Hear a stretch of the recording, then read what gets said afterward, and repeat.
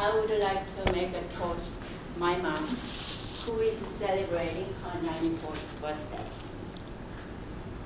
My dearest mom, you are my inspiration, and one of your greatest accomplishments is raising six of us to be grow up to be tall and straight in everything in life.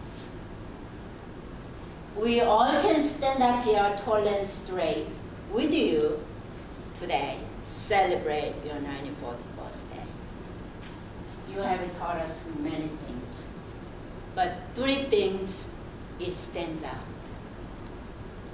Simplicity, health is more important than wealth. One step away, choose your significant others or potential partner. Simplicity. You have taught us that less you own material things, better person you become.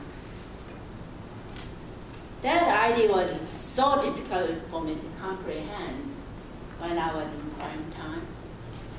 But now I'm realizing that not a single item I can take with me when I departed from this world. I become a minimalist.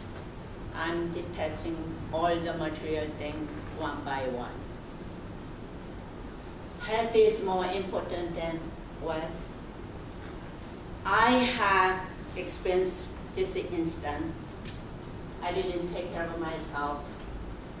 Ended up in Park City Hospital emergency room due to dehydration and receiving $7,500 doctor's bill. it was indeed working moment for my life. Mom, you are the wise one. All the money in the world is useless unless you are healthy. How to choose your significant others in one step way. We used to bring boys to potential partners. You ask us two questions. Does he smoke? Does he drink?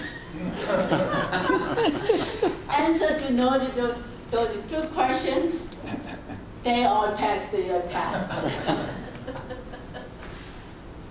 I carry forever this lesson with me until end of my life.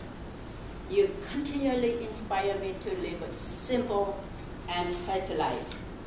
And you are the greatest mom in this whole entire known universe.